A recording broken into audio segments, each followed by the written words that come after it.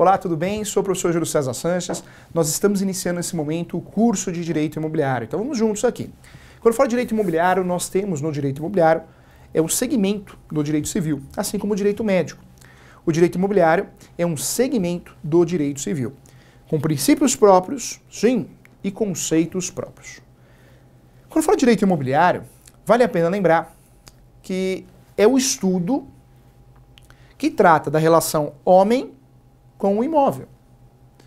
Seja um imóvel comprado, doado, alugado, emprestado, financiado. Direito imobiliário vai tratar da relação homem e imóvel, ok? Essa relação. Quando eu falo de direito imobiliário, nós temos um ramo multidisciplinar. Multidisciplinar. O direito imobiliário não é só direito civil, conhecer responsabilidade civil, os contratos em espécie, evicção, vício redibitório, as possessórias, conhecer o processo civil. Direito imobiliário é multidisciplinar. Nós sabemos que no direito imobiliário existe sim relações administrativas e direito administrativo. Exemplo disso é a desapropriação. A desapropriação, toda vez que um ente federativo, a União, o Estado, o município, por algum motivo, entenda que desapropriar a sua casa, a casa do nosso cliente, vai gerar né, uma situação positiva à coletividade em virtude de uma reforma, em virtude de um projeto, de um empreendimento, um aumento de uma rodoviária, um aumento de um, de um aeroporto, isso vai acontecer em prol da coletividade, função social, direito administrativo. A União, o Estado, o município pode comprar imóveis e normalmente, quando compra imóveis, existe um procedimento de licitação, direito administrativo também. É, a prefeitura, ela sim vai dar licença para construções, licença de funcionamento, habites, entre outros documentos importantes. Também estamos falando sim de direito administrativo, vinculado ao direito imobiliário. Olha como o direito administrativo ele é muito atuante. No direito administrativo, nós temos também a parte ambiental, o direito ambiental, que é usado também aqui no direito imobiliário.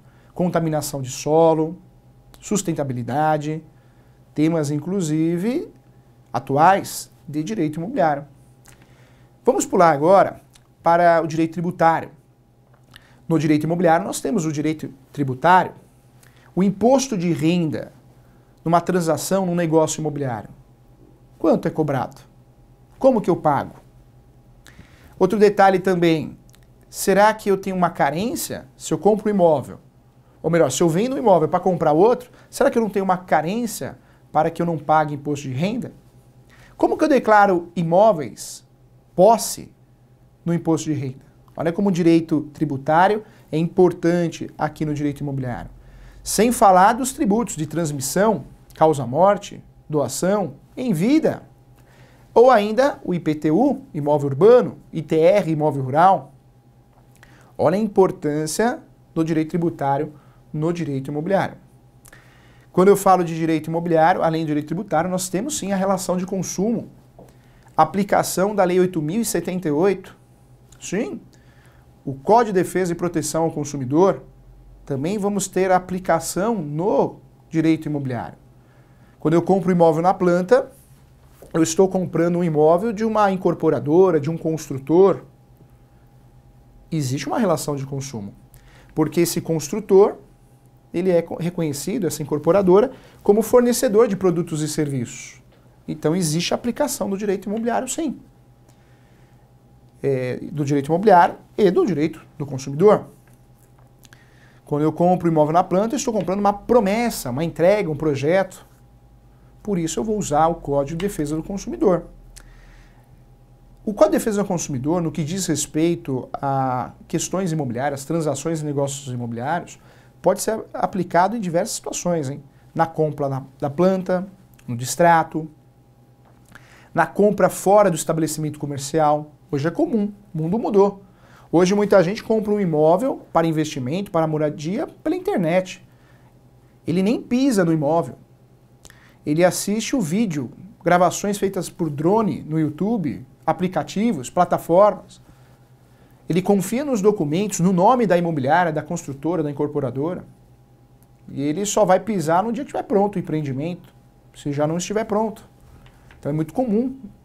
Negócios no âmbito rurais e também no âmbito urbano. Então é muito comum isso, hein? Acontece bastante. Olha como tem direito do consumidor, a aplicação do CDC, Código de Defesa do Consumidor, Lei 8.078 de 90. O direito imobiliário também usufrui do direito penal. Sim. Nós temos o exercício ilegal da profissão. Aquele corretor de imóveis que se apresenta como corretor de imóveis e nem corretor de imóveis é. Esse corretor de imóveis, ele na verdade fala que é corretor de imóveis, mas não tem inscrição no Cresce. Crime, criminoso. Exercício ilegal da profissão. Ele não pode entregar cartão, ter imobiliária sem ser corretor. Ah, mas meu pai tem Cresce. Meu irmão tem Cresce, o uso dele não existe, o Cresce é individual. Cuidado, e pessoa jurídica, para fazer propaganda da pessoa jurídica, tem que ter Cresce pessoa jurídica. Você consegue consultar no site do Cresce. Verificou que não é corretor, pronto. Denúncia crime, processo criminal, exercício ilegal da profissão. E aqueles advogados, ah, que eu, eu sou advogado, vou tirar certidões, eu vou fazer o contrato, aí você vai ver, o sujeito está no terceiro ano de direito. É crime, hein? Bacharel não pode advogar, bacharel não é advogado. O bacharel só vai virar advogado quando passar no OB, fazer o requerimento e, conseguir a inscrição no OB. Se você exerce a função de advogado não tendo inscrição no OB, você é um criminoso, hein? É criminoso. Ó, cadeia? Não, não, não chega da cadeia, mas é criminoso, né? É criminoso, porque você está cometendo um crime, exercício legal da profissão. E como que descobre se o sujeito é advogado ou não? Consultando no site do OB, assim como eu consulto o corretor de imóveis. Além dos crimes de exercício legal da profissão, que são comuns aqui no direito imobiliário, está cheio de corretor que não é corretor, está cheio de advogado que não é advogado, nós temos também crimes de falsidade ideológica, falsidade de documentos, crimes também de. Um crime muito, muito comum no direito imobiliário é o esbulho, né? Turba, é, crime de esbulho. Quando eu falo de crime de esbulho, toda vez que eu perceba que o sujeito está invadindo né, um imóvel e eu consigo detectar isso na hora, isso é um crime. Esbulho possessório. Inclusive é um dos poucos crimes que nós temos em relação à posse. Né? É um pouco omisso o contrato, é, os pactos, inclusive o Código Penal em relação aos crimes. Nós não temos muitas legislações, né? Mas é crime sim. Então, olha como o direito penal também é aplicado aqui. Aí você vai falar, professor, e a certidão? Como que eu vou descobrir se o sujeito ele tem um processo penal correndo na esfera estadual e na esfera federal? Através da certidão de distribuição criminal. Ou seja, olha o processo penal agora, deixa o direito, direito penal, que nós já provamos que ele é do direito imobiliário, olha o processo penal também, fazendo a sua parte, pisando aqui também no terreno direito imobiliário. Olha como é importante o conhecimento do processo penal. Você tem que ter noção que que é mais execução penal, eh, se existe um, um processo, um inquérito, que não é processo, né? Você precisa ter noção para explicar para o cliente quando a certidão é positiva, quando a certidão é negativa, a criminal, da esfera estadual e federal. Também temos aí a utilização do processo e do direito penal. Não podemos esquecer também aqui que o direito imobiliário vive vive direito civil. Nós temos aqui os contratos em espécie, nós usamos todos, praticamente todos. Contrato de seguros, é um contrato de direito civil. Tem legislação própria também, normativas. É um contrato utilizado dia a dia aqui no mundo dos negócios imobiliários, transações imobiliárias. Temos também aqui, além do seguro, comodato, fiador, contrato de corretagem.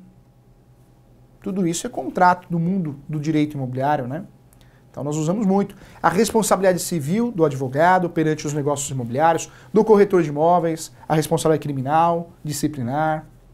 Então também é, aqui nós vivemos o direito civil, tanto é que o direito imobiliário é considerado direito civil. No direito imobiliário nós temos também o uso, sim, do direito registral. E eu costumo dizer que o direito registral no direito imobiliário é tudo, hein?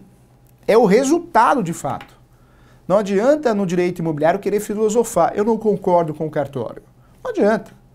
Eu não concordo com o cartório, você entregou os documentos, o cartório nega o registro, você tem que tentar entender o que o cartório está pedindo. Por isso não dá para atuar no direito imobiliário sem entender muito da Lei 6.015, que é a Lei de Registros Públicos, sem compreender as normas da corregedoria de cada estado.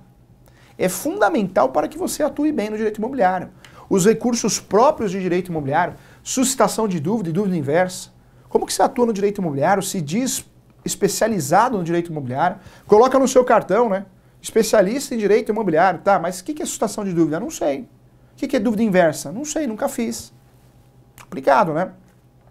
Tem que dominar direito registral também. Então, olha como a gente consegue provar com facilidade que o direito imobiliário realmente é um dos ramos mais multidisciplinares que nós temos. Isso nós falamos dos ramos, né?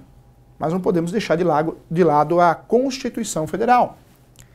Atuar no direito imobiliário, nas peças, nos requerimentos, tem tudo a ver com direito constitucional. Direito de petição, função social da propriedade, dignidade da pessoa humana, direito de moradia, inclusive institutos de uso capião fundamentados dentro da Constituição Federal também. Olha que interessante. Então, olha como o direito imobiliário é um ramo que você precisa estudar sim outras áreas. Não tem como fugir, nós vamos fazer isso na nossa pós-graduação, tá? Passo a passo. Olha só que interessante. Vamos lá, vamos dar continuidade. Vamos estudar o direito imobiliário nas questões cíveis. Vamos lá. Primeira situação que a gente precisa entender aqui. A diferença de posse e domínio. Domínio é registro. Registro de verdade. No cartório de imóveis. Posse é qualquer outra coisa que não seja domínio. Quando eu falo de posse, se você tem um contrato, seu cliente tem um contrato de gaveta, é posse. Escritura pública não registrada é posse. Carta de adjudicação não registrada, posse. Carta de rematação não registrada, posse. Registro é uma coisa só. Não confunda registro com averbação, hein? Registro é a transmissão em vida ou em morte de proprietário. Já averbação são atos da vida. Segundo a Lei 6.015, nós temos pelo menos aí 21 motivos para fazer a averbação no cartório, na matrícula do imóvel, tá? 21 motivos que nós vamos estudar cada um deles na nossa pós-graduação também. Vamos lá, olha só. É, outro detalhe importante também é conhecer o que é contrato de gaveta e o que é contrato público.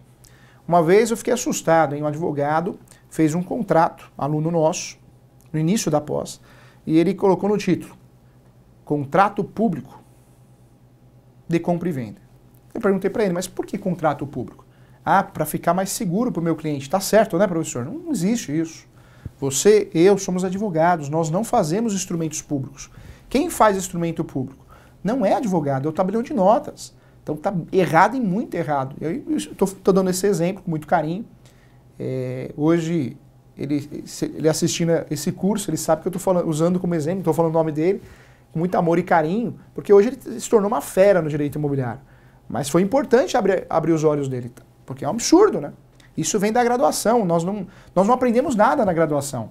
A graduação não ensina ninguém a ser advogado, ninguém passar em concurso em OB. A graduação, infelizmente, ela é importante na nossa vida, mas é, de aprendizado é um nada, né? E eu falo todas as faculdades, hein? Todas. Principalmente as de, as de, as de nome, hein? Ah, mas na minha, porque ela é pública, não. Conversa. Conversa porque os professores, nós que damos aula na pública, a gente dá aula na particular, é tudo a mesma coisa. E a culpa não é dos professores. A culpa também, muitas vezes, não é do aluno. Se bem que tem aluno que nunca aparece na aula, né? Tem aluno que é terrível, é um turista. Não estuda, não acompanha, então muitas vezes a culpa é do aluno sim. Mas a culpa é da grade. A maior parte da culpa é a grade, mal montada, mal feita. Né? E, tá, e vai piorar. Hein? Vai piorar porque o, o curso online é cada dia mais presente presente na graduação. Isso é um risco. Diferente daqui, você está procurando o curso porque você quer aprender a ajudar o seu cliente, é diferente, é outro nível. Agora, na graduação, como que eu vou te explicar o que é conceito da posse sui generis? Como que eu vou te explicar isso? Se você é aluno de graduação, é mais, é mais difícil. Então, infelizmente, o brasileiro ele é enganado, né? As faculdades hoje, elas jogam lá online o que puder, 20, 30, 40, 50, 60%, engana.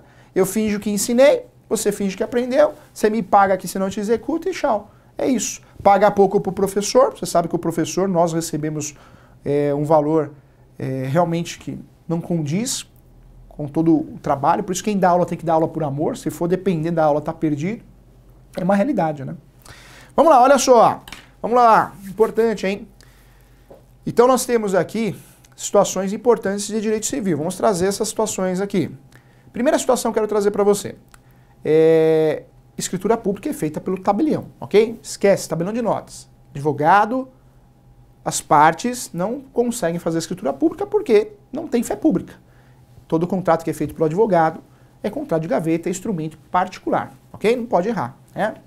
Outro detalhe importante que eu queria falar com você é que acima de 30 salários mínimos tem que ser feito por escritura pública, tá? O contrato, senão não consegue registrar. Por isso eu defendo tanto que nas transações nos negócios imobiliários tem que ter um contrato preliminar para fechar o negócio. E no segundo momento faz aí o contrato definitivo, que pode ser escritura pública, deve ser escritura pública, ou um outro contrato. Eu defendo pelo menos isso nos meus livros também. Outro detalhe importante também, isso quem, quem diz né, não é o professor Júlio, mas sim o Código Civil, em artigo 108. Toda transação imobiliária acima de 30 salários mínimos deve ser feita de forma solene, formal, escritura pública, tá? Para conseguir fazer o registro. Outro detalhe importante é entender também da capacidade, hein? Nós temos os incapazes, incapacidade relativa e incapacidade absoluta. O menor pode comprar um imóvel, mas a capacidade dele tem que ser suprimida é, com menos de 16 anos, o pai e a mãe vai assinar por ele, por ele. Dos 16 aos 18, o pai e a mãe vai assinar com ele, com ele. Então, se não tem essa é, supressão de incapacidade, suprimir a incapacidade, o negócio é nulo. Importante isso, tá? E a regra vale também para outras situações, né? Então, é, também deve ser aplicado no alfabeto, entre outras situações também. Cuidado, existe a figura da interdição, hein? Interdição, eu faço uma ação de interdição, vou interditar uma irmã, vou interditar um irmão, um pai, uma mãe, um avô, uma avó, porque você é o representante legal dele. Ele perde, sim, é, poder de agir sozinho no âmbito civil. Ele vai ter um representante. Então, se existe uma interdição, aquele sujeito não pode assinar, porque também é nulo. Né? Tem que ser assinado pelo é, tutor, né? o curador. Né? Depende da idade, tutor e curador, se é maior ou menor. Tá? Então, também detalhe importante aí também do direito imobiliário. Vamos juntos aqui eu quero falar um pouquinho sobre as funções do cartório, hein? É muito feio um advogado que se diz especialista em direito imobiliário fazer confusão, tá? Nós temos aí, então, algumas situações importantes. Vamos lá? Primeira situação, cartório de imóveis faz o quê? Registra a verba competente, só do cartório competente, ok? Tabelião faz escritura pública, lavra, termo correto, lavrar escritura pública, compra e venda, promessa, doação, procuração, ok? Isso que faz. Escritura pública de inventário, escritura pública de uso capião. Cuidado, títulos e documentos. Eu consigo registrar documentos, títulos, para ter publicidade. Protesto, cartório de protesto protesta, boletos, cheques, né? O boleto tem que fazer lá a formatação para conseguir protestar, mas dá para protestar também. Nota promissória, duplicata, é outro trabalho, outro sentido. Cuidado, tá? Cada cartório tem a sua atribuição. Quem trabalha no cartório é CLT e quem é oficial do cartório, ele passou num concurso público, ok? Então, muitas informações importantes. Nós temos, agora entendendo melhor o cartório, nós temos duas formas de adquirir propriedade no Brasil. A primeira forma é a originária, que se dá através da cessão. Aluvião, avulsão, lembra disso? Mas também através do uso capião. Dois procedimentos, judicial e extrajudicial, e mais de 36 modalidades. Ok? Deixa a forma originária de lado, a aquisição originária, vamos tratar da forma derivada ou secundária. A forma derivada ou secundária se dá através da alienação, da compra e venda de imóveis, dos contratos imobiliários. Compra e venda, promessa, compromisso, cessão de direitos hereditários, cessão de direitos possessórios, cessão de direitos e obrigações. E antes desses contratos, eu posso fazer um contrato preliminar, que é um contrato mais simples, só para fechar o negócio, dependendo de um segundo contrato. Então, olha que interessante. No direito imobiliário, nós temos a relação também da locação. Quando alguém não tem condições de comprar, ele aluga. E a locação é uma legislação complexa. Nós temos a Lei 8.078, opa, 8.078 é o Código de Defesa do Consumidor. 8.245 de 91. Fiquei, hein? Ó, oh, achou que ia passar, hein? 8.245 de 91. É a lei do inquilinato, tá? Que foi alterada pela Lei 12.112 de 2009. Cuidado, quando eu falo de locação, nós temos outras legislações. O próprio Código Civil vai tratar de locação, bens móveis, mas também bens imóveis, hein? Como espaço publicitário, vaga de garagem autônoma, É, quem mais? Hotel, motel, a parte hotel, para fins de moradia, tudo Código Civil, por mais que seja um bem imóvel. E o Estatuto da Terra também tem a ver, hein? Tem a ver também com a locação, também é uma fundamentação nas locações de imóveis rústicos e rurais, os arrendamentos rurais. Né? Então também tem a ver. É, no próximo bloco, no próximo, na parte 2 do curso, nós vamos continuar. Lembrando que todos esses assuntos serão é, vistos e revistos passo a passo na nossa pós-graduação, tá bom? Então, um conteúdo maravilhoso para você. Eu espero você até a próxima aula, nesse caso, o próximo bloco. Um abraço.